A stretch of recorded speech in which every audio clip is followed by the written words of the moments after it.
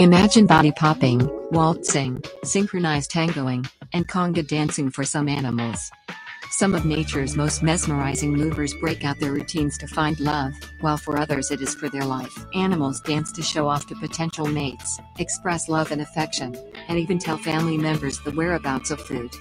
Let's explore the eye catching, flamboyant, and sometimes bizarre world of animals movers and tall shakers.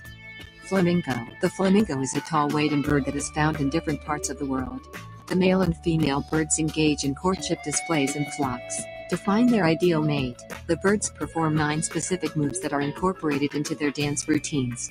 At the end, they suddenly throw open their wings to give a flamboyant, colorful display of black and pink wing feathers. They also compare and contrast moves, and are drawn to mates whose moves closely emulate theirs. Flamingo, a type of wading bird in the family Phoenicopteridae. There are six species of flamingos. Four species are distributed throughout the Americas and two species are native to Africa, Asia, and Europe. The American flamingo is one of the largest species of flamingo. An average adult is 5 feet, 1.5 meters, tall and weighs 4 to 8 pounds. They get their reddish pink color from special coloring chemicals called pigments found in the algae and invertebrates that they eat. Carotenoids are also found in the microscopic algae that brine shrimp eat. As a flamingo dines on algae and brine shrimp, its body metabolizes the pigments, turning its feathers pink.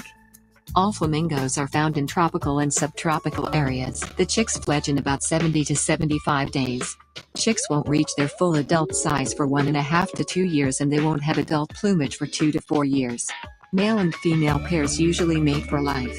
The flamingo can live for up to 20 years in the wild. Flamingos stand on one leg because it's physiologically easier for them to do so.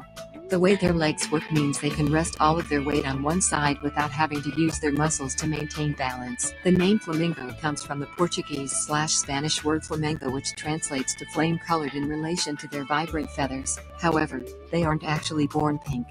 Instead, when flamingo chicks hatch they have a dull gray color. They seek out fresh water for drinking, although most flamingos live near lakes with high salt concentrations.